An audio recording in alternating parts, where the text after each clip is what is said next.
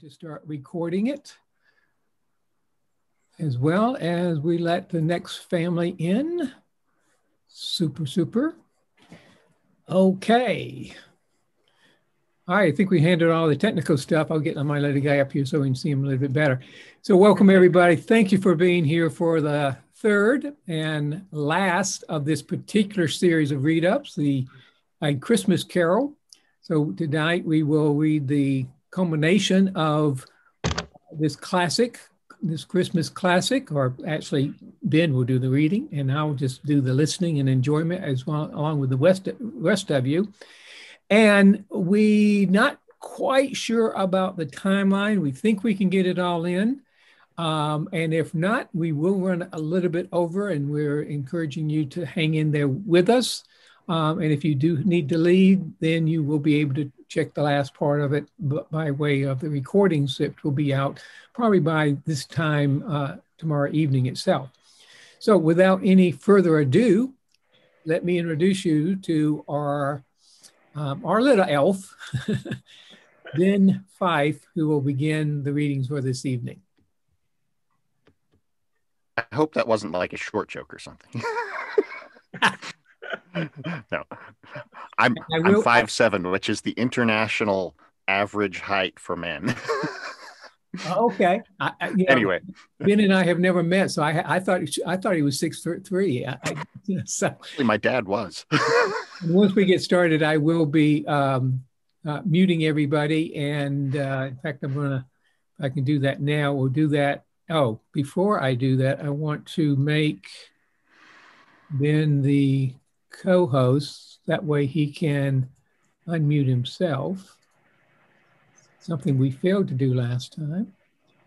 Okay, and I also like to just take the moment to welcome my wife, who's normally has a seminar on this evening, and she doesn't tonight, so she's joining us as well. Okay. Ann. We hear all lots of good stuff about you, Ann. Thank you. Thank you, Wendy. Thank you for saying that. Do I get a free coaching now? I'll pay you later. Don't worry. Just okay. tease it. Just tease it. We'll take a moment to mute everybody, and then Ben will unmute himself, and we'll get going. Here we go.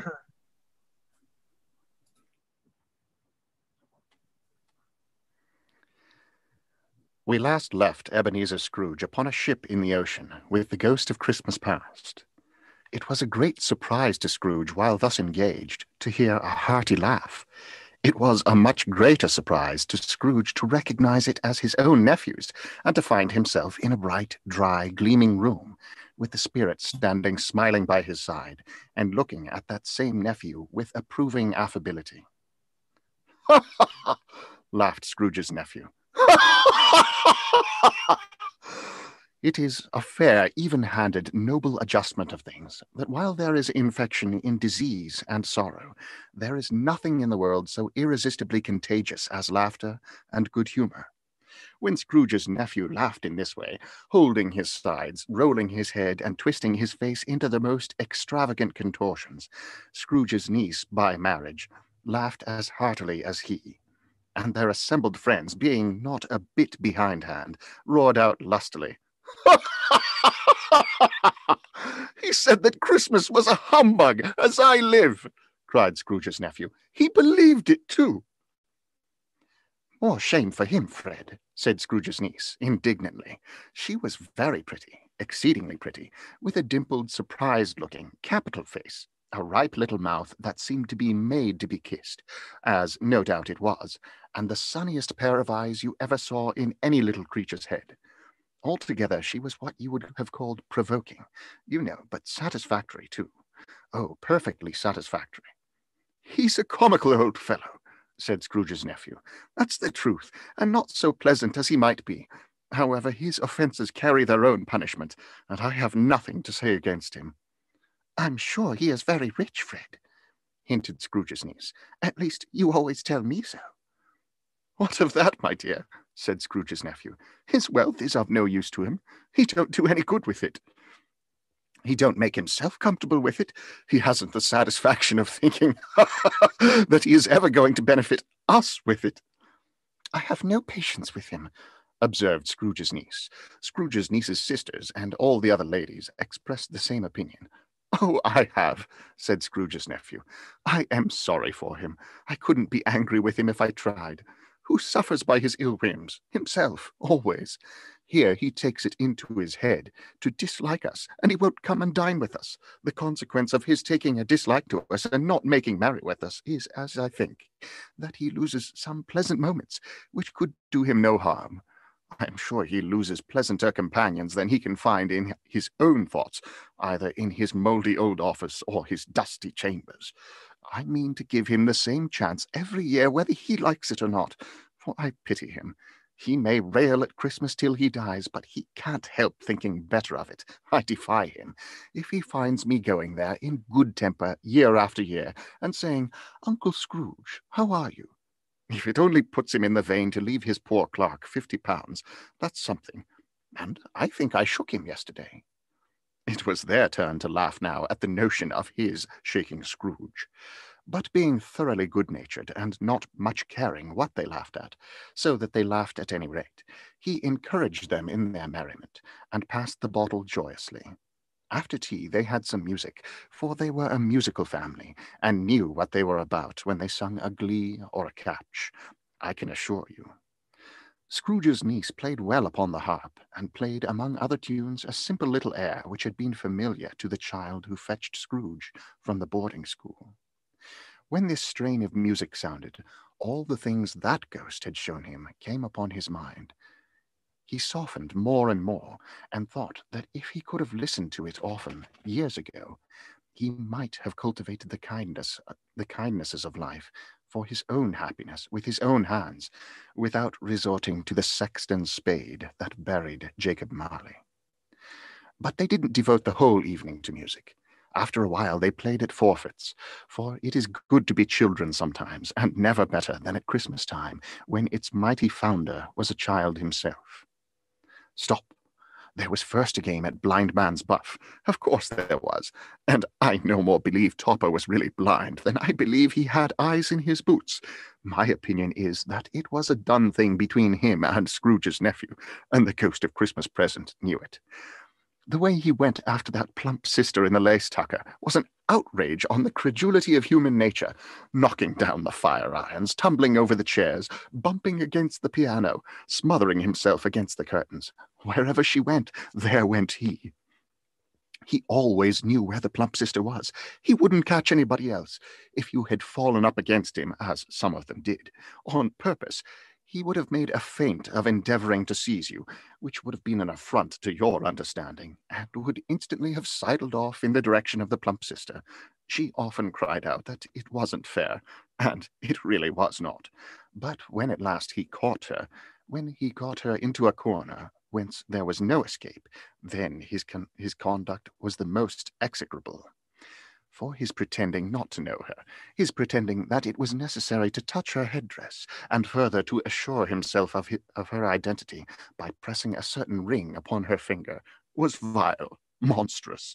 No doubt she told him her opinion of it when, another blind man being in office, they were so very confidential together behind the curtains. Scrooge's niece was not one of the blind man's buff party, but was made comfortable with a large chair and a footstool in a snug corner where the ghost and Scrooge were close behind her. But she joined in the forfeits and loved her love to admiration with all the letters of the alphabet. There might have been twenty people there, young and old, but they all played, and so did Scrooge, for wholly forgetting in the interest he had in what was going on, that his voice made no sound in their ears, he sometimes came out with his guess quite loud, and very often guessed quite right too, for the sharpest needle warranted not to cut in the eye was not sharper than Scrooge, blunt as he took it in his head to be. The ghost was greatly pleased to find him in this mood, and looked upon him with such favour that he begged like a boy to be allowed to stay until the guests departed but this, the spirit said, could not be done. Here is a new game, said Scrooge. One half hour, spirit, only one. It was a game called Yes and No, where Scrooge's nephew had to think of something, and the rest must find out what. He only answering to their questions, yes or no, as the case, as the case was. The brisk fire of questioning which he was exposed elicited from him that he was thinking of an animal, a live animal, a rather disagreeable animal, a savage animal, an animal growled and grunted sometimes, and talked sometimes, and lived in London, and walked about the streets, and wasn't made a show of, and wasn't led by anybody, and didn't live in a menagerie, and was never killed in a market, and was not a horse, or an ass, or a cow, or a bull, or a tiger, or a dog, or a pig, or a cat, or a bear. At every fresh question that was put to him, this nephew burst into a fresh roar of laughter, and was so inexpressibly tickled that he was obliged to get off the sofa, get up off the sofa, sofa and stamp. At last, the plump sister, falling into a similar state, cried out, I have found it out. I know what it is, Fred. I know what it is. What is it? cried Fred. It's your Uncle Scrooge which it certainly was. Admiration was the universal sentiment, though some objected that the reply to, Is it a bear? ought to have been, Yes, inasmuch as an answer in the negative was sufficient to have diverted their thoughts from Mr. Scrooge, supposing they had ever had any tendency that way. He has given us plenty of merriment, I am sure, said Fred, and it would be ungrateful not to drink his health. Here is a glass of mulled wine ready to our hand at the moment, and I say, Uncle Scrooge. Well, Uncle Scrooge, they cried. A Merry Christmas and a Happy New Year to the old man, whatever he is, said Scrooge's nephew. He wouldn't take it from me, but may he have it nevertheless, Uncle Scrooge. Uncle Scrooge had imperceptibly become so gay and light of heart that he would have pledged the unconscious company in return and thanked them in an inaudible speech if the ghost had given him time. But the whole scene passed off in the breath of the last words spoken by his nephew, and he and the spirit were again upon their travels. Much they saw, and far they went, and many homes they visited, but always with a happy end. The spirits stood beside sick beds, and they were cheerful, on foreign lands, and they were close at home by struggling men, and they were patient in their greater hope, by poverty, and it was rich, in almshouse, hospital, and jail, in misery's every refuge, where vain man in his little brief authority had not made fast the door and barred the spirit out, he left his blessing and taught Scrooge his precepts. It was a long night, if it were only a night. But Scrooge had his doubts of this, because the hol- Christmas holidays appeared to con- be condensed into the space of time they passed. It was strange, too, that while Scrooge remained unaltered in his outward form, the ghost grew older, clearly older. Scrooge had observed this change and noticed that its hair was grey. Are spirits' lives so short? asked Scrooge. My life upon this globe is very brief, replied the ghost. It ends tonight. Tonight, cried Scrooge.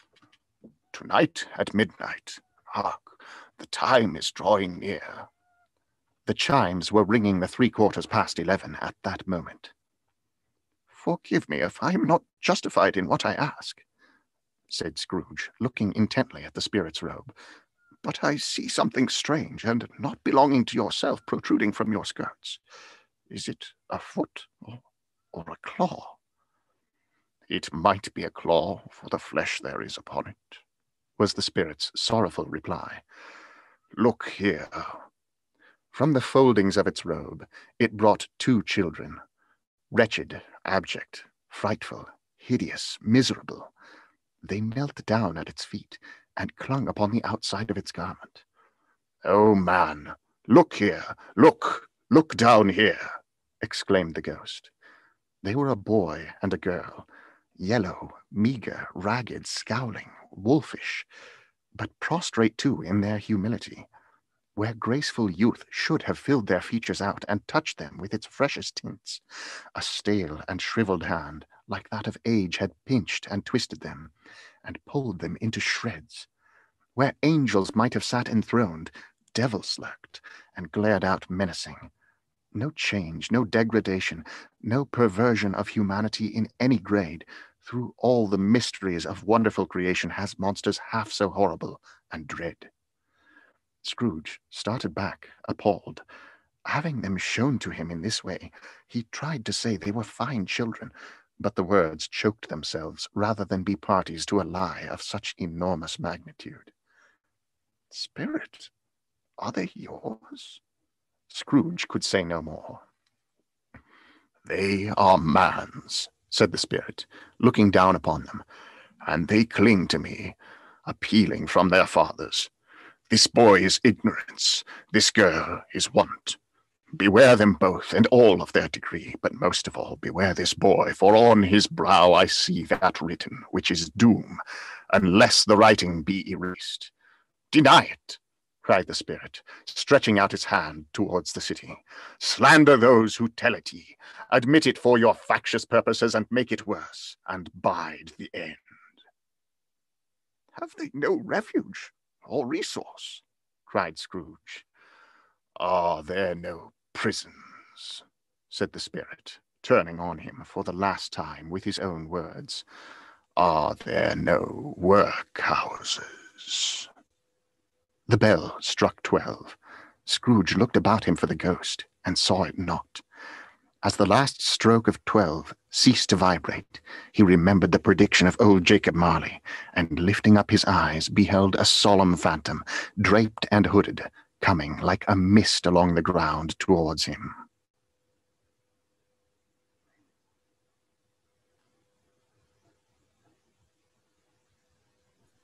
Good. Just a very brief break. I want to take care of our narrator, give him opportunity to get a sip of water or whatever, and making whatever changes he needs to make for this next part. This is part four, the last of the spirits as he becomes the spirit himself. We will continue. And again, muting everybody so that our spirit can unmute himself. Continue. The phantom slowly, grave, oh wait, stave four, the last of the spirits. The phantom slowly, gravely, silently approached. When it came near him, Scrooge bent down upon his knee, for in the very air through which this spirit moved, it seemed to scatter gloom and mystery. It was shrouded in a deep black garment, which concealed its head, its face, its form, and left nothing of it visible, save one outstretched hand. But for this, it would have been difficult to detach its figure from the night, and separate it from the darkness by which it was surrounded. He felt that it was tall and stately when it came beside him, and that its mysterious presence filled him with a solemn dread. He knew no more, for the spirit neither spoke nor moved. I am in the presence of the ghost of Christmas yet to come, said Scrooge. The spirit answered not, but pointed onward with its hand. You are about to show me shadows of the things that have not happened, but will happen in the time before us, Scrooge pursued. Is that so, Spirit? The upper portion of the garment contracted for an instant in its folds, as if the spirit had inclined its head. That was the only answer he received. Although well used to ghostly company by this time, Scrooge feared the silent shape so much that his legs trembled beneath him, and he found that he could hardly stand when he prepared to follow it.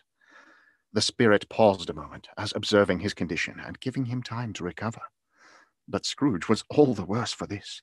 It thrilled him with a vague, uncertain horror to know that behind the dusky shroud there were ghostly eyes intently fixed upon him, while he, though he stretched his own to the utmost, could see nothing but a spectral hand and one great heap of black.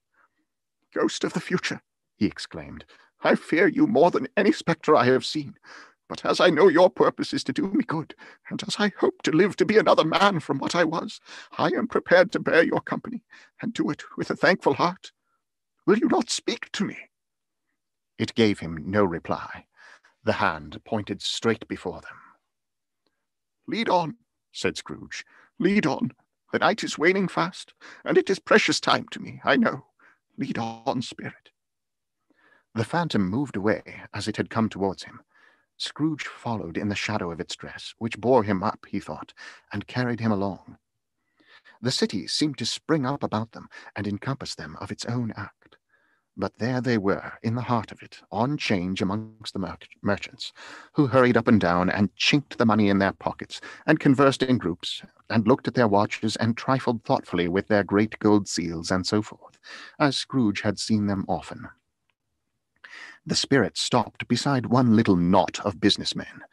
Observing that the hand was pointed to them, Scrooge advanced to listen to their talk. No, said a great fat man with a monstrous chin. I don't know much about it either way. I only know he's dead. When did he die? inquired another. Last night, I believe. Why, what was the matter with him? Asked a third, taking a vast quantity of snuff out of a very large snuff box. I thought he'd never die. God knows, said the first man with a yawn. What has he done with his money? asked a red-faced gentleman with a pendulous excrescence on the end of his nose that shook like the gills of a turkey-cock. I haven't heard, said the large man, yawning again. Left it to his company, perhaps. He hasn't left it to me, that's all I know. This was pleasantly received with a general laugh. It's likely to be a very cheap funeral, said the speaker. For upon my life, I don't know of anybody to go to it. Suppose we make up a party and volunteer. Well, I am the most disinterested among you, after all, said the first speaker, for I never wear black gloves and I never eat lunch, but I'll offer to go if anybody else will. When I come to think of it, I'm not at all sure that I wasn't his most particular friend, for we used to stop and speak whenever we met. Bye-bye. Speakers and listeners strolled away and mixed with other groups, Scrooge knew the men and looked towards the spirit for an explanation. The phantom glided on into a street. Its finger pointed to two persons meeting. Scrooge listened again, thinking that the explanation might lie here. He knew these men also perfectly. They were men of business, very wealthy and of great importance. He had made a point of always standing well in their esteem, strictly in a business point of view. How are you? said one. How are you? returned the other. Well, said the first, old Scratch has got his own at last, eh? So I am told, returned the second. Cold, isn't it? Seasonable for Christmas time. You're not a skater, I suppose. No, no, something else to think of. Good morning. Not another word. That was their meeting, their conversation, and their parting. Scrooge was at first inclined to be surprised that the spirit should attach importance to a conversation apparently so trivial but feeling assured that they must have some hidden purpose, he set himself to consider what it was likely to be. They could scarcely be supposed to have any bearing on the death of Jacob, his old partner, for that was the past, and this ghost's province was the future. Nor could he think of anyone immediately connected with himself to whom he could apply them. But nothing doubting that to whomsoever they applied, they had some latent moral for his own improvement, he resolved to treasure up every word he heard and everything he saw, and especially to observe the shadow of himself when it appeared. For he had an expectation that the conduct of his future self would give him the clue he missed, and would render the solution of these riddles easy. He looked about in that very place for his own image, but another man stood in his accustomed corner, and though the clock pointed to his usual time of day for being there, he saw no likeness of himself among the multitudes that poured in through the porch. It gave him little surprise, however, for he had been revol revolving in his mind a change of life, and thought and hoped he saw his newborn resolutions carried out in this. Quiet and dark beside him stood the phantom, with its outstretched hand. When he roused himself from his thoughtful quest, he fancied from the turn of the hand and its situation in reference to himself that the unseen eyes were looking at him keenly. It made him shudder and feel very cold. They left the busy scene and went into an obscure part of town where Scrooge had never penetrated before, although he recognized its situation and its bad repute. The ways were foul and narrow, the shops and houses were wretched, the people half naked, drunken, slipshod, ugly. Alleys and archways, like so many cesspools, disgorged their offences of smell and dirt and life upon the straggling streets, and the whole quarter reeked with crime, with filth and misery. Far in this den of infamous resort, there was a low-browed, beetling shop below a penthouse roof where iron, old rags, bottles, bones, and greasy offal were brought. Upon the floor within were piled up heaps of rusty keys, nails, chains, hinges, files, scales, weights, and refuse iron of all kinds, Secrets that few would like to scrutinize were bred and hidden in mountains of unseemly rags, masses of corrupt fat, and sepulchres of bones. Sitting in among the wares he dealt in, by a charcoal stove made of old bricks, was a grey-haired rascal, nearly seventy years of age. Scrooge and the Phantom came into the presence of this man, just as a woman with a heavy bundle slunk into the shop. But she had scarcely entered when another woman, similarly laden, came in too, and she was closely followed by a man in faded black, who was no less startled by the sight of them than they had been upon the recognition of each other. After a short period of blank astonishment, in which the old man with the pipe had joined them, they all three burst into a laugh.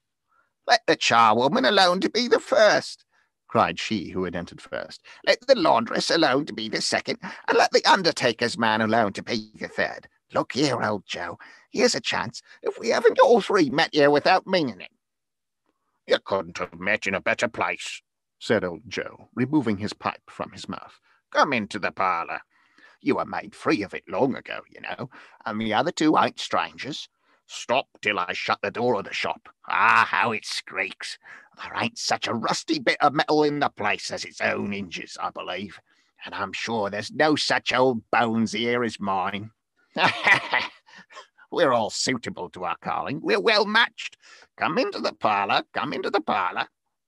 The parlour was the space behind the screen of rags, the old man raked the fire together with an old stair rod, and having trimmed his smoky lamp, for it was night, with the stem of his pipe, put it in his mouth again. While he did this, the woman who had already spoken threw her bundle on the floor, and sat down in a flaunting manner on a stool, crossing her elbows on her knees, and looking with a bold defiance at the other two. What odds, then? What odds, Mrs. Dilber? said the woman. Every person has a right to take care of themselves. He always did. That's true indeed, said the laundress. No man more so. Why then, don't stand there as if you were afraid, woman. Who's the wiser? We're not going to pick holes in each other's coats, I suppose. No, indeed, said Mrs. Dilber and the man together. We should hope not. Very well, then, cried the woman. That's enough. Who's the worse for the loss of a few things like these? Not a dead man, I suppose. No, indeed, said Mrs. Dilber, laughing. If he wanted to keep him after he was dead, a wicked old screw, pursued the woman, why wasn't he natural in his lifetime? If he had been, he'd have had somebody to look after him when he was struck with death, instead of lying gasping out his loan, his last, all alone there by himself. It's the truest word that ever was spoke, said Mrs. Dilber. It was a judgment on him. I wish it was a little heavier judgment, replied the woman, and it should have been, you may depend on it. If I could have laid my hands on anything else, open that bundle, old Joe, and let me know the value of it. Speak out plain. I'm not afraid to be the first, nor afraid for them to see it. We know pretty well that we were helping ourselves before we met here, I believe. It's no sin. Open the bundle, Joe.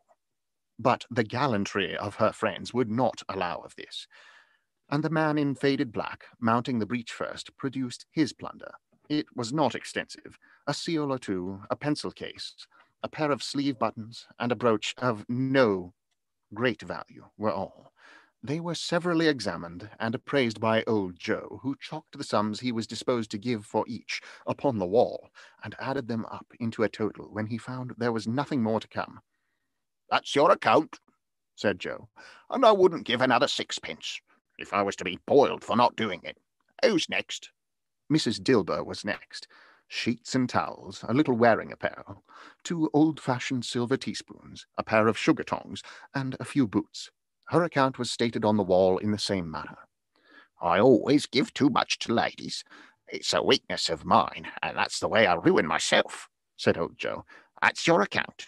If you asked me for another penny and made it an open question, I'd repent of being so liberal and knock off half a crown. And now undo my bundle, Joe, said the first woman.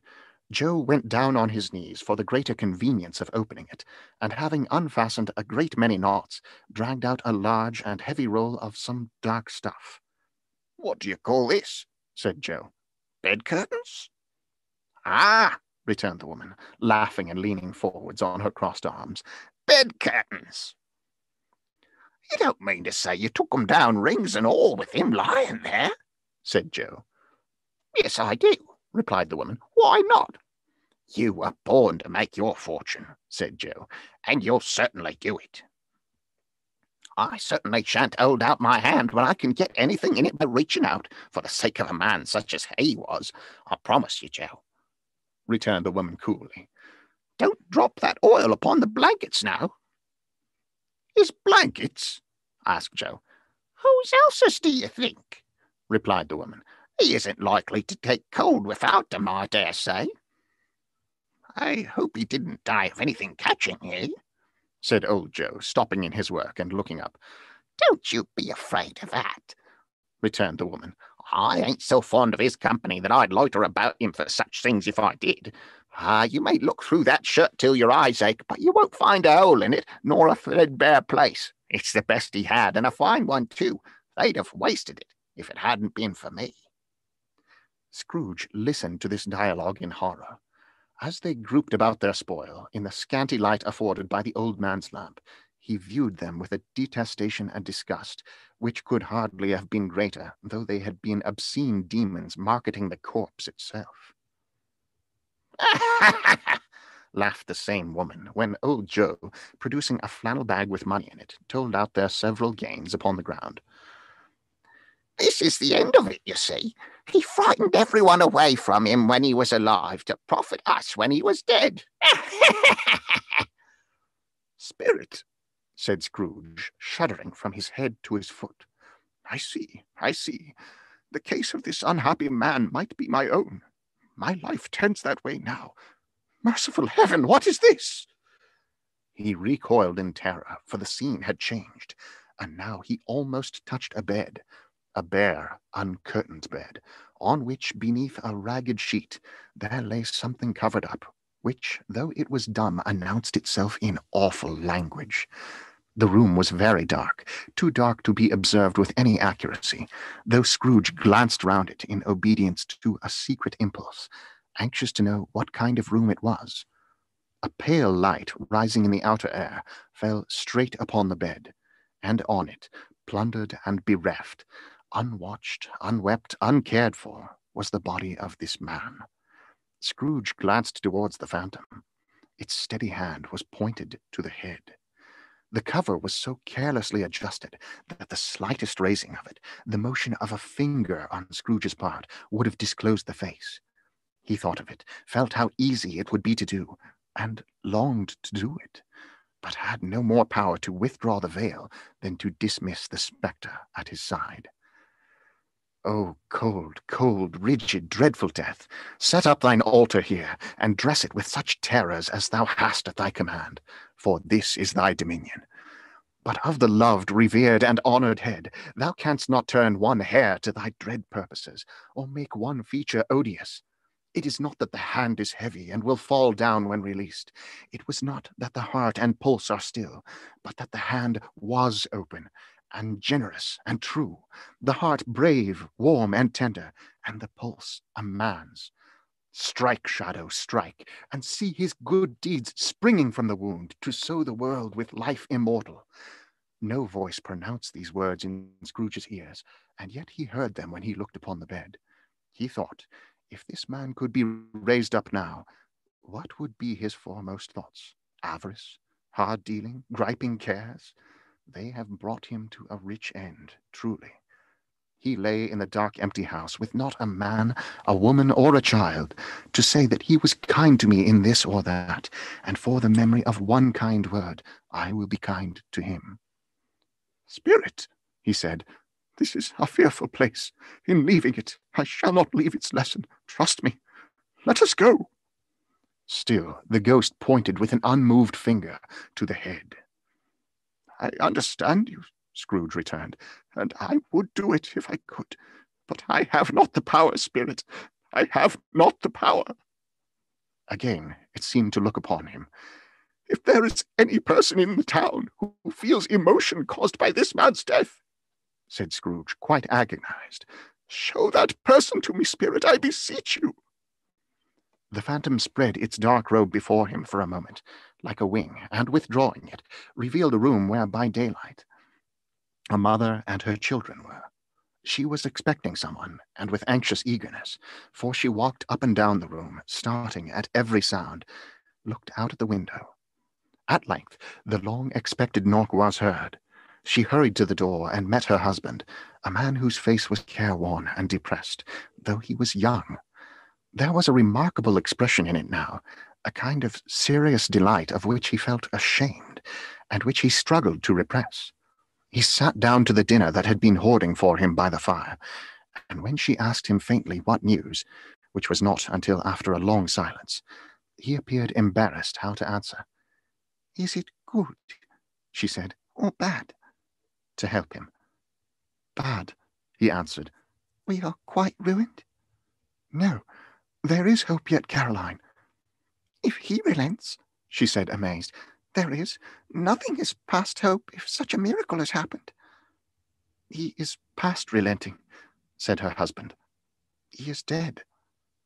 She was a mild and patient creature if her face, if her face spoke the truth, but she was thankful in her soul to hear it, and she said so with clasped hands.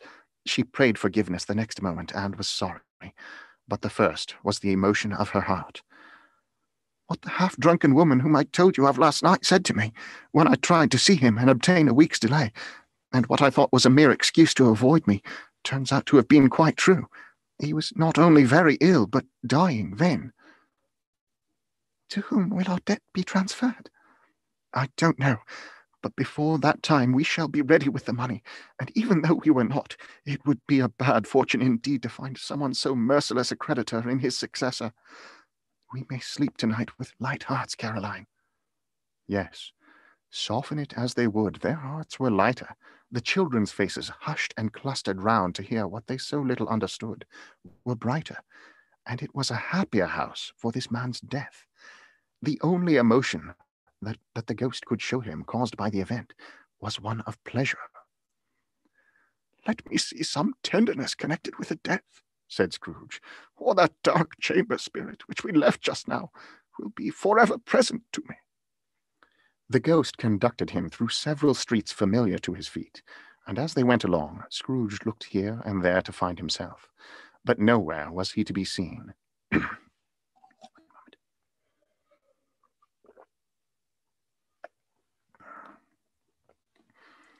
they entered poor Bob Cratchit's house, the dwelling he had visited before, and found the mother and the children seated round the fire.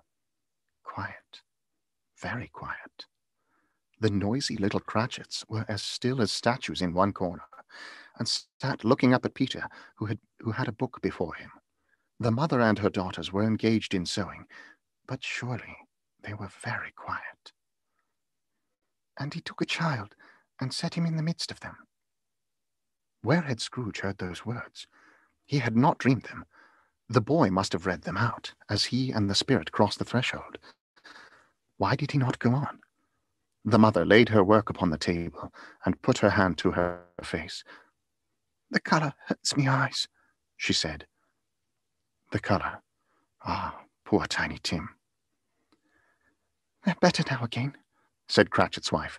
It makes them weak by candlelight, and I wouldn't show weak eyes to your father when he comes home for the world. It must be near his time. Past it, rather, Peter answered, shutting up his book. But I think he has walked a little slower than he used these last few evenings, mother. They were very quiet again. At last she said, and in a steady, cheerful voice, that only faltered once, I have known him to walk with I have known him to walk with Tiny Tim upon his shoulder very fast indeed. And so have I, cried Peter, often. And so have I, exclaimed another. So had all. But he was very light to carry, she resumed, intent upon her work, and his father loved him so that it was no trouble, no trouble. And there is your father at the door. She hurried out to meet him, and little Bob in his comforter. He had need of it, poor fellow. came in. His tea was ready for him on the hob, and they all tried who should help him to it most. Then the two young Cratchits got upon his knees and laid each a little hat, a chi- each child, a little cheek against his face, as if they said, Don't mind it, father, don't be grieved. Bob was very cheerful with them, and spoke pleasantly to all the family. He looked at the work upon the table, and praised the industry and speed of Mrs. Cratchit and the girls. They would be done long before Sunday, he said. Sunday? You went today, then, Robert? said his wife.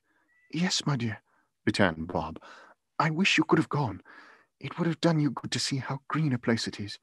But you'll see it often. I promised them that I would walk there on a Sunday. My little, little child, cried Bob. My little child.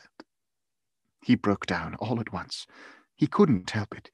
If he could have helped it, he and his child would have been farther apart, perhaps, than they were. He left the room and went upstairs into the room above, which was lighted cheerfully and hung with Christmas. There was a chair set close beside the child, and there were signs of someone having been there lately. Poor Bob sat down on it, and when he had thought a little and composed himself, he kissed the little face. He was reconciled to what had happened, and went down again quite happy. They drew about the fire and talked, the girls and mother working still. Bob told them of the extraordinary kindness of Mr. Scrooge's nephew, whom he had scarcely seen but once, and who, meeting him in the street that day, and seeing that he looked a little, just a little down, you know, said Bob, inquired what had happened to distress him. On which, said Bob, for he is the pleasantest spoken gentleman you ever heard, I told him. I am heartily sorry for it, Mr. Cratchit, he said, and heartily sorry for your good wife. If I can be of service to you in any way, he said, giving me his card, that's where I live. Pray come to me. Now, it wasn't, cried Bob, for the sake of anything he might be able to do for us, so much as for his kind way, that this was quite delightful. It really seemed as if he had known our Tiny Tim and felt with us. I'm sure he's a good soul, said Mrs. Cratchit. You would be surer of it, my dear, returned Bob, if you saw and spoke to him. I shouldn't be at all surprised, mark what I say, if he got Peter a better situation. Only hear that, Peter, said Mrs. Cratchit. And then, cried one of the girls, Peter will be keeping company and with someone and getting and setting up for himself. Get along with you, retorted Peter, grinning. It's just as likely as not, said Bob. One of these days, though there's plenty of time for that, my dear. But however and whenever we part from one another, I am sure we shall none of us forget poor Tiny Tim, shall we, or this first parting that there was among us. Never, father, cried they all.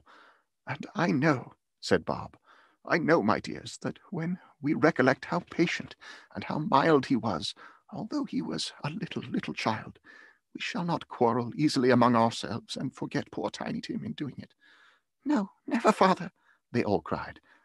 I am very happy, said little Bob. I am very happy. Mrs. Cratchit kissed him, and his daughters kissed him. The two young Cratchits kissed him, and Peter and himself shook hands. Spirit of Tiny Tim, thy childish essence was from God. Spectre, said Scrooge, Something informs me that our parting moment is at hand. I know it, but I know not how. Tell me what man that was whom we saw lying dead. The ghost of Christmas yet to come conveyed him as before, though at a different time, he thought indeed, there seemed no order in these latter visions, save that they were in the future, into the resorts of business men, but showed him not himself.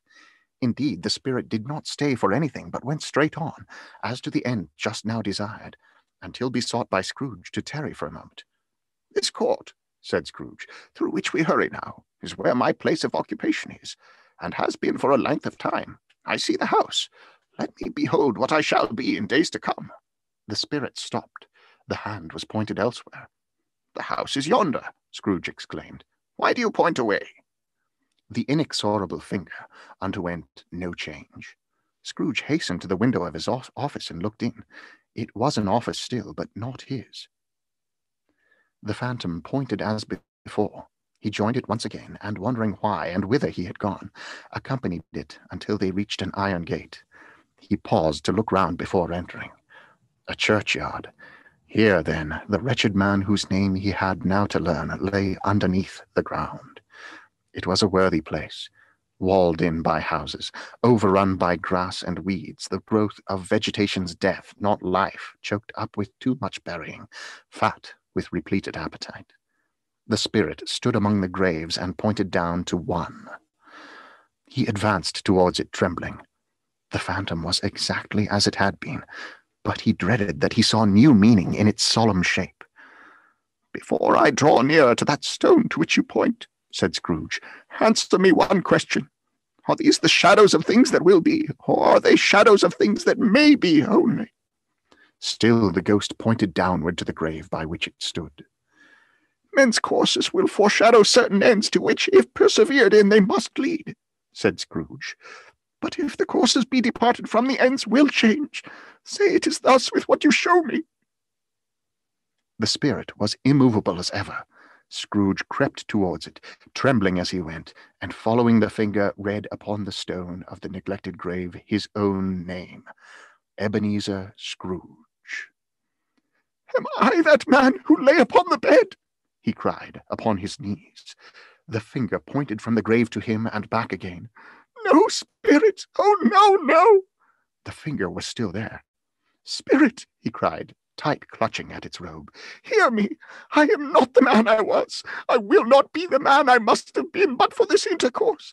Why show me this if I am past all hope? For the first time the hand appeared to shake. Good spirit, he pursued, as down upon the ground he fell before it. Your nature intercedes for me and pities me. Assure me that I may yet change these shadows you have shown me by an altered life. The kind hand trembled. I will honor Christmas in my heart and try to keep it all the year.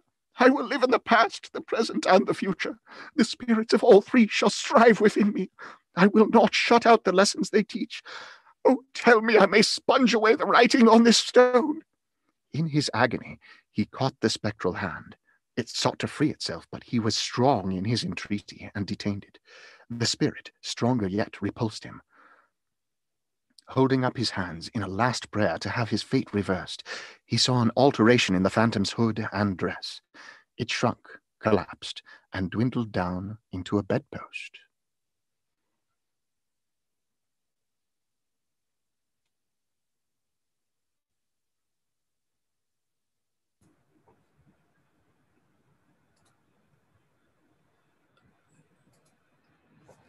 Okay. Anyone who would care to unmute? Um, we are at a very brief break as we go to the end. Uh, say the title is the end of it.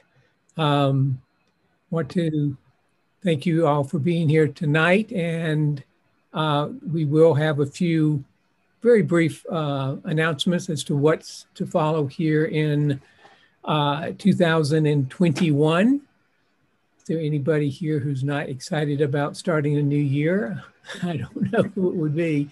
Um, so we will finish the last portion here, just the last few sections here, um, as we break through the darkness of that last set of scenes and come back to the light. Uh, that's also the light in uh, uh, Ben's room as well. And then we will have the announcements and have time like we did last week for any uh, questions and answers or comments that you care to make to either myself or to Benny. So with that, um, why don't we go ahead and continue? Uh, unless, uh, again, if anybody wants to say anything now before we uh, go back, we can do that as well. So, I just want to say fabulous. I love it. Very good. Very good. Yes, ditto. yes, I agree. It's awesome. Very cool. Good good reviews here, Ben. let's let's bring it on home. I will mute everybody again and then you can unmute and we will continue. Stave 5, the end of it. Yes, and the bedpost was his own, the bed was his own, the room was his own. Best and happiest of all, the time before him was his own, to make amends in. I will live in the past, the present, and the future. Scrooge repeated as he scrambled out of bed. The spirits of all three shall strive within me. Oh, Jacob Marley, heaven and the Christmas time be praised for this. I say it on my knees, old Jacob, on my knees.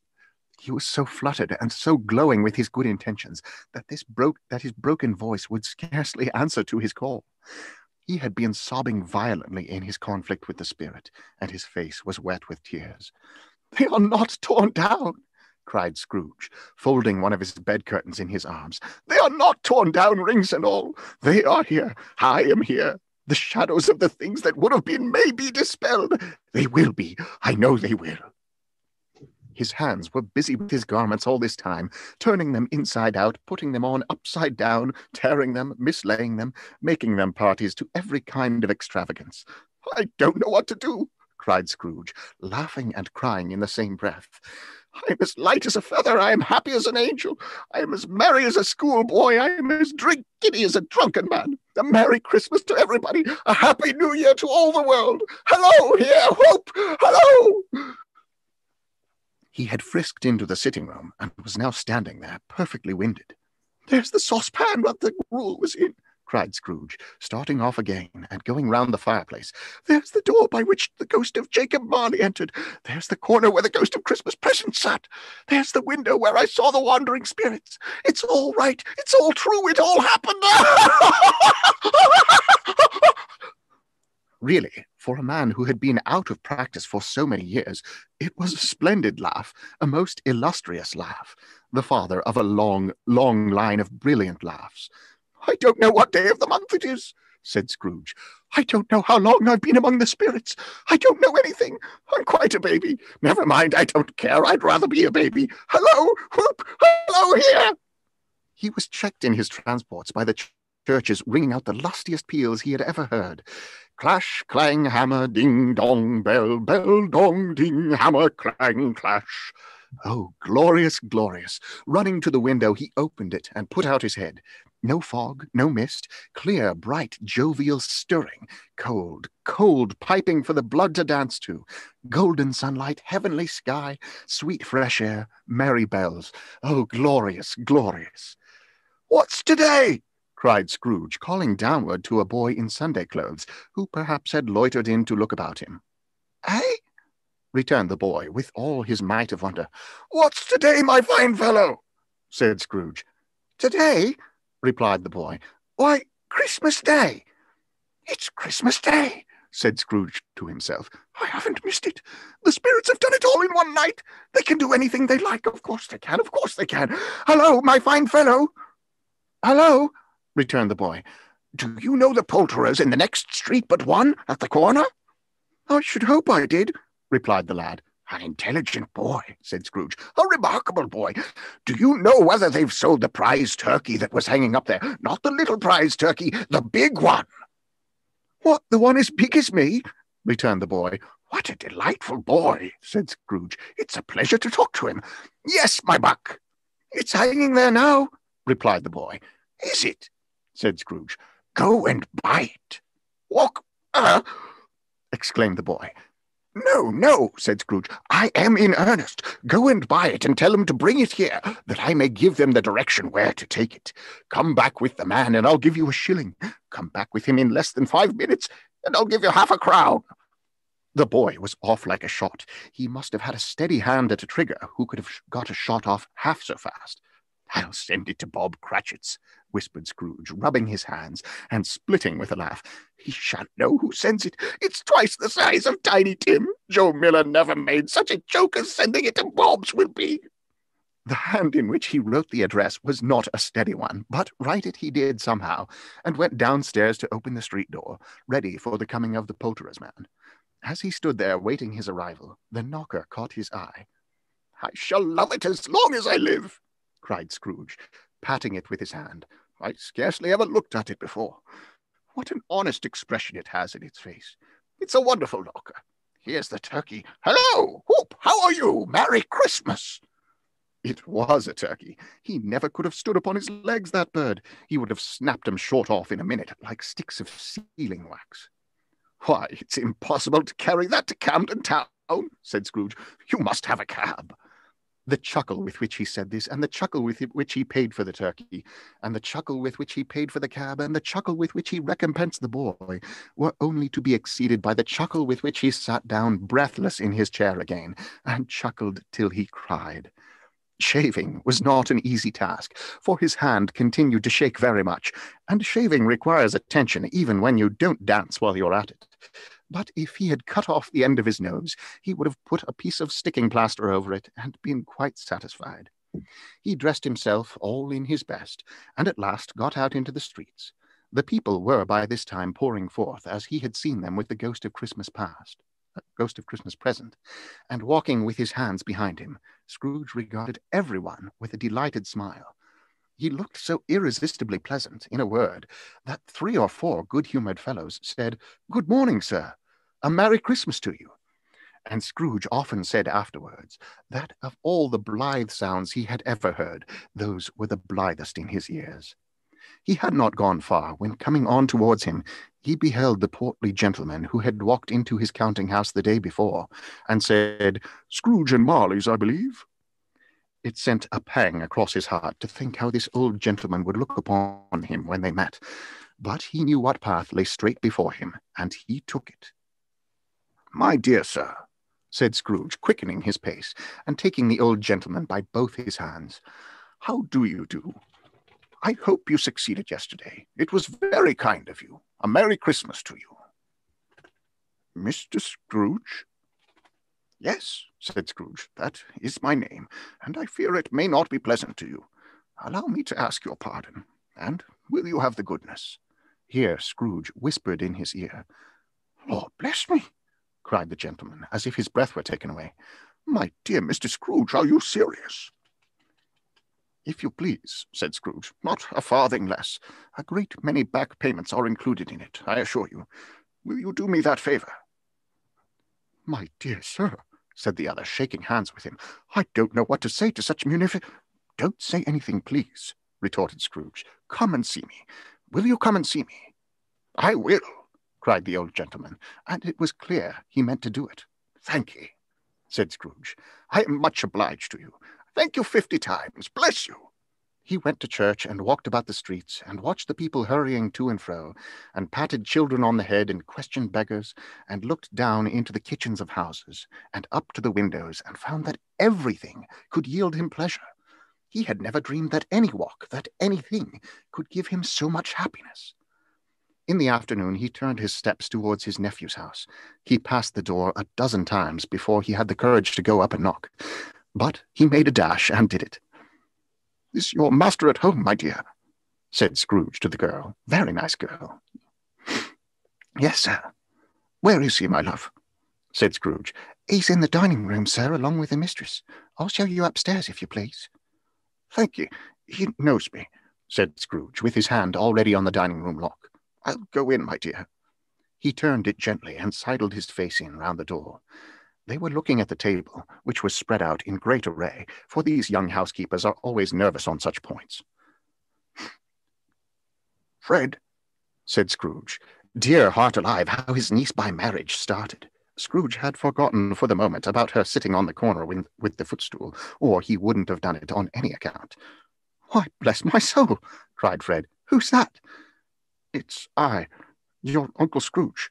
I've come to dinner. Will you let me in, Fred? Let him in.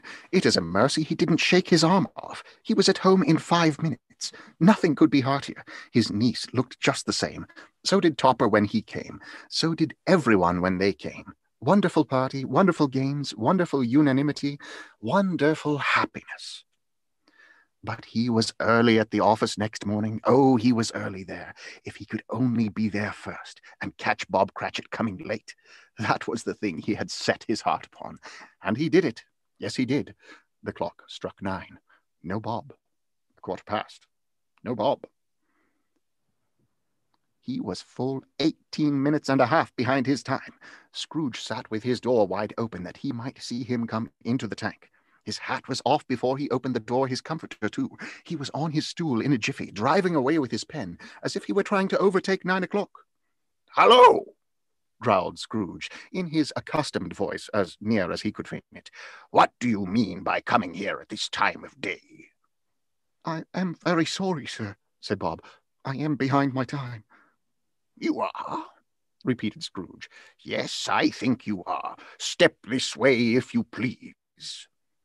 It's only once a year, sir, pleaded Bob, appearing from the tank. It shall not be repeated. I was making rather merry yesterday. Now I'll tell you what, my friend, said Scrooge. I am not going to stand this sort of thing any longer. And therefore, he continued, leaping from his stool and giving Bob such a dig in the waistcoat that he staggered back into the tank again, and therefore I am about to raise your salary. Bob trembled and got a little nearer to the ruler. He had a momentary idea of knocking Scrooge down with it, holding him and calling to the people in the court for help and a strait waistcoat. A Merry Christmas, Bob, said Scrooge with an earnestness that could not be mistaken. As he clapped him on the back, a merrier Christmas, Bob, my good fellow, than I have given you for many a year. I'll raise your salary and endeavor to assist your struggling family, and we will discuss your affairs this very afternoon over a Christmas bowl of smoking bishop, Bob. Make up the fires and buy another coal scuttle before you dot another I, Bob Cratchit. Scrooge was better than his word. He did it all and infinitely more. And to Tiny Tim, who did not die, he was a second father. He became as good a friend, as good a master, and as good a man as the good old city knew or any other old city, town, or borough in the good old world. Some people laughed to see the alteration in him, but he let them laugh and little heeded them, for he was wise enough to know that nothing ever happened on this globe for good, at which some people did not have their fill of laughter in the outset. And knowing that such as these would be blind anyway, he thought it quite as well that they should wrinkle up their eyes in grins as to have the malady in less attractive forms. His own heart laughed, and that was quite enough for him and it was always said of him that he knew how to keep Christmas well if any man alive possessed the knowledge. May that be truly said of us, and all of us. And so, as Tiny Tim observed, God bless us, every one. Very good. That's the end. And a happy ending. It definitely was. Um, there's a couple things I want to share, but I want to give everybody the opportunity to unmute and let's give our uh, illustrious audiobook audiobook narrator a round of applause. Thank you so much for doing such a good job. Awesome, Thank you for awesome. listening. Bravo. Bravo. It was awesome. Very well done. Absolutely. Thank you very much, Ben. Uh, gallery view so I can see everybody. Amazing. Amazing. Great job, Ben. Very, very nice. Awesome job. A Merry Christmas to all of you. Yes. Merry Christmas to you. We do have a couple quick announcements before I forget it, since this one's a little bit uh, in a different location. Um, I do want to let you know that uh, Journey of the Kings which is uh, by uh, I'm probably see if I get this name correctly, Gary Gary Delfino. Delfino. Yeah. This is a book that's narrated by Ben himself. It will be releasing on Christmas Eve, just around the corner on Audible, and it's a dramatization of the journey of the wise men. So it'll be a perfect Ooh. time, perfect spirit for the season itself. So that will be available awesome uh, on Christmas Eve via Audible itself. So we've been told. exactly. we'll see. our fingers crossed. I'm going to also scroll this down here for just a moment. And we did find a uh, slightly reduced, uh, condensed version of the book in case some of your friends say, you know, really three hours listening is a little bit too long. I'm trying to share my screen here. Here we go. What time does it start, Benny? The the Journey of the Kings. It's a. It, will just be uh, available to purchase on Audible. Oh, okay. So yeah. Great. Perfect. So Would you like me to read the abridged version here? yes, if you would read the abridged version of A Christmas Carol. A Christmas Carol by Charles Dickens, abridged. Christmas sucks. You suck. Yay, Christmas! there we go. Love it. No, this the, might that... sound like a silly question, Benny, but how would I uh, go about uh, checking that audiobook out? Um, you'd you'd need to have an account on Audible. Um, so it's not something so much that can be checked out, but I will have um, some free codes for it. If you want to, uh, you can go to my website, bennyfifeaudio.com, and I would be happy to, like, if you just send me your email, then I'll, uh, once I have the free codes for it, I'll send you a free code for it. Oh, okay, good. So, yeah, very good. That would be awesome, Benny. Mm-hmm. So in the new year, um, one of the things that we have here, let me just make sure I'm going in the right order here. Yeah. So these are some additional um, of the original illustrations that was in the original uh, Christmas Carol. Uh, they are not on the website yet, but they will be um, before the end of this week. If you are, want to download any of those and print them out for their own beauty or also use them as coloring pages, you know, with yourself or your kids. They will be available um, before Christmas Day itself. Um, what's next? Uh, this is a little bit of a change. Uh, we are, you know, this is the, the last of obviously of a Christmas Carol, but the read ups will continue at least uh, through this first quarter and perhaps you know into the year that's really our intention is to keep providing this for people. Uh, one of the next things that we'll be doing which will not be next week which we originally planned i'm going to give uh, ben um, time to have let his voice recuperate a little bit and me to recuperate a little bit as well. The next read up though of the zach bates eco adventure read up is going to be January the 5th, the following Tuesday from 7 to 8. And registration is now open. If you want to register for that, go to wbradfordswift.com forward slash read up. Um, and we will be, there is also a pretty complete, not completely complete, but pretty complete uh, recap of the book as we've covered so far. So if you join this, even if you haven't been on the other read ups, you'll have a good idea of where the book is going and you know we'll be picking it up there. Our intention is to finish this book, The Dominion overall, the first book in the series, by the one following that. So two weeks after that will be um, a follow up um, I believe it's about two weeks. I don't remember exactly on the date, but we will uh, be sure to get those dates to you. We'll be finishing up the Zach Bates Eco Adventure. Um, let's see what else we have here. Um, really quick on the Zach Bates Eco Adventure too. Yeah. Um, if uh, you want to catch up in other ways, the the audio book is free on Google Play um, for the for book one, and also I think on Kindle or whatever, you can you can get the the the book also free that way. Yeah, so you can get the book. There's a couple ways you can get both the audio. If you want or know somebody who wants to join the Zach Bates Eco Adventure team, um, and you can receive both the ebook of book one and the audio book by going to my website, wbradfordswift.com, going to the home page. And this is part of our game to, to not only to inspire and encourage young people to read and to become lifelong readers by introducing them to the joy of reading for the pure pleasure of it. And our game is to give away at least a thousand books, it's ebooks and our audio books, um, you know, this year, and we'll continue to make that available uh, until at least a thousand books are given away. Um, and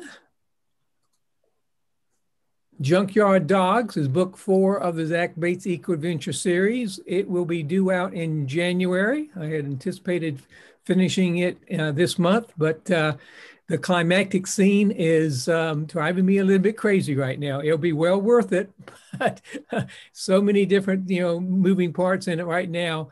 Uh, so it will be available. Um, book four, where young empath Faith Bandera becomes the newest member of the Eco Adventure team. So that will be coming out shortly. So now I'd like to open it up. Um, let me quit sharing the screen here for just a moment. If you have any questions about any of that that I just covered, or you want to just ask or make comments to Ben or myself, I'll be happy to try to answer them, or so will Ben. Just, yes, exactly. Just raise your hand like Teresa just did. Teresa. Uh, I have a question for Benjamin. What were your favorite characters to narrate in A Christmas Carol? You know, probably my very favorite is Scrooge, just because he has he changes so much by the end. He's, I mean, he's laughing and whatever, but also I adore doing um, Jacob Marley and The Ghost of Christmas Present. Those are my those are my three favorites. So, mm. though though also the scene with the the creepy people selling the stuff I, yeah, I, I always like doing that because you were having I fun get with that. I get to roll out the cockney and get get nice and gritty. Great job. Very good. Great question. Um, just thank you. I'm going to say Merry Christmas. I had a call at five, but I asked to extend it so I could listen to the end. And um, I, Brad, I'm going to see if at the group home uh, we're getting a new boy and he's 16. If he's if he's capable of uh, being able to listen, like on the computer, if they'll let me, I will uh, get him to. As long as I have permission from the ministry, I, I don't think it will be a problem at all. But I never know the rules change, but I think it would be awesome. So I just want to really acknowledge you for, um, you know, making this available to kids and, you know, encouraging the reading. So thank you and Merry Christmas, Anne, and everybody here. And mm-hmm. hopefully I'll see you at another Zoom reading. yes, I okay, hope so too. I don't, I don't have a file for it, but I do want to also mention one of the things we will be adding in January uh, and probably doing it on a, a, monthly or every other month basis, is where we'll we will be doing uh, authors guest events. These will be kind of a modified uh, read up. Uh, we have a couple authors here that are on the Zoom tonight that we're hoping will ex- uh, accept our invitation to be a part of this. Again, that information will be uh, coming available with the dates and everything in your uh, inbox through the emails, along with the uh, recordings of this one uh, before the, uh, you know, uh, in the next couple of days. So just stay tuned for those. And if you know of authors that you think would be interested in being a part of our uh, guest events, um, if they write children and or young adult fiction, particularly fantasy and science fiction in those genres, we'd love to talk to them. All right. Thank you. Yeah. yeah. Thank you very much for everything. Am Thank I allowed you. to ask a question? Very. Yeah. Um, Benjamin, I wanted to know if you had any uh, insights to share with us on how you went about developing the voices for Christmas Carol. I noticed you you really gave the characters very distinct voices, and I was wondering if you had any behind the scenes stuff about that. You know, go back going back to high school i studied dialects i had a really good drama teacher in high school and uh, that's where i i learned the initial british and cockney um, as far as i love so many film versions of a christmas carol and some of them if if you you might be able to spot the exact scene that I'm emulating. Like Patrick Stewart's A Christmas Carol, I love his his portrayal of Scrooge, um, and the like the the scene with the people selling the his stuff and whatever. That's that's from that one too. But but there there are other things. I mean, Michael Caine and um, it's I, I have so many favorites. Like I, I mean, w- when I get to the the Ghost of Christmas uh, yet to come, I'm I'm like I I, I want to start going boy um for you know hmm. the the Muppet version. But really, it's I, I I borrow liberally from all kinds of different sources but it's also something where i've read this to my kids every year for 10 years and my oldest daughter was saying you know it's something where you could just start talking and, and like oh yeah that's that's jacob marley's voice and so it's kind of fun because i i've kind of i don't know if i'd say it's a rut but i have the characters pretty well yeah. cast in stone at this point so that's what it sounded like yeah yeah nice. good also and you had a question yeah, go ahead. I, I just wanted to say, um, I, this is my first opportunity to get to hear you, and you are gifted. This is wildly entertaining and wonderful for us to be a partake of, you know, and I just am grateful to have been able to be a part of it tonight. So thank you very much. You're very welcome. And you know there's something like recording audiobooks it's all in my voice it's been it's been very fun to you know don the hat and and be the character too yes. and i've i, I i'm yeah. i hope that came across that it's oh, that yeah. It, it, was it was fun to be able to perform it visually as well as yes. as as uh, yes. with my voice so as i, I said it was wildly entertaining i deeply and wonderfully enjoyed it. I can't even quite say it enough. and don't miss next time because at the Zach Bates Eco Adventure series, he's going to dress up like Samson, the magic dog, the flying dog. So I don't think you, I don't sure, know if he knows sure. that yet. yeah, right, Brad. You're gonna have to find a dog head. I think that would be more unsettling than anything else. Yeah, yeah, he, he you did mention, and you may want to, as as we start to wind this up, that uh, um, that it was almost not going to be a happy ending.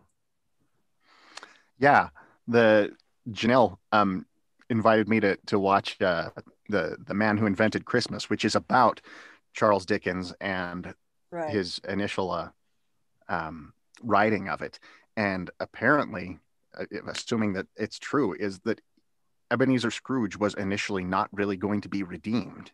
It was just, you know, and you know that's that's what happens. You just need to you know learn from this. But but uh, his his maid was like, no, mm-hmm. anybody can change. It, it, you have to have him change. And honestly, there's no way I would read this every year if Ebenezer Scrooge was the right. same at the end as he was at the beginning.